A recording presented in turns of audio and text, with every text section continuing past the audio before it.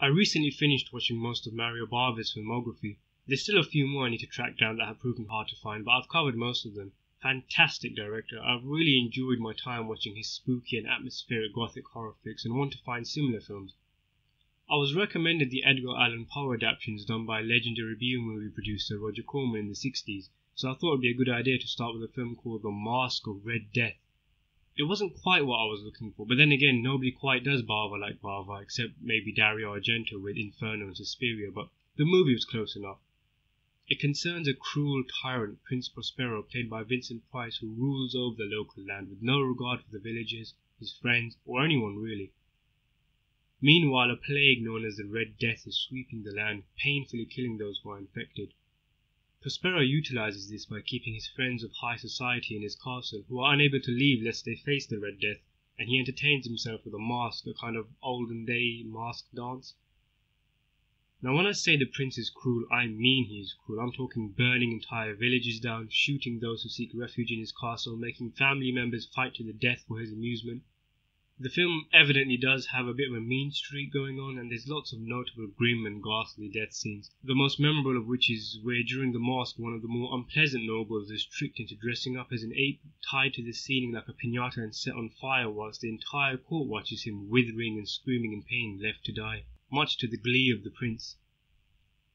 The movie is a lot creepier than I was prepared for, and there's a cynical undercurrent, most prevalent at times, like when the prince tells his friends, shall we call them, to act like dogs and snails, and the entire court, including those who are acting like animals, roar in laughter while they get on all fours and humiliate themselves.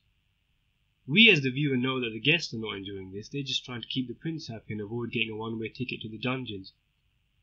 Eventually, it's revealed that the guy is a devil worshipper, and the film takes a bit of a weird seventh sealed kind of turn, with death appearing in human form and unleashing, well, death Price was great, and he really looks like he relished the opportunity to play someone as cruel as the prince.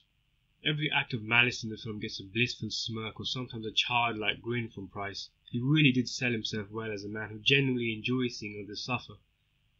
The rest of the cast were pretty unmemorable for the most part, most of them blandly reciting their lines with little emotion, even when they're being put to death.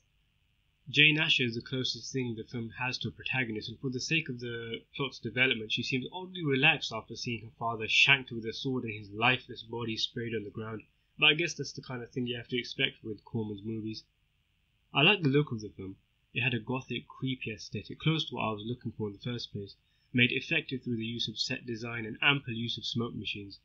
The colours were muted in the outside scenes, giving off a spooky vibe, whilst the colours inside the castle often had a vibrant, contrasting look which worked well for the ball. The camera work was a little flat and uninspired, and I don't know if it was for the sake of extending the runtime to a theatrical release, but there were a lot of scenes of Asher staring at walls and doors that just seemed to go on forever.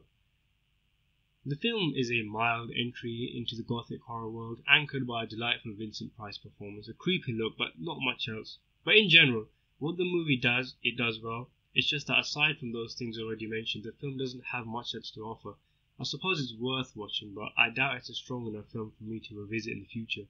The Masque of Red Death gets a 6 out of 10 for me.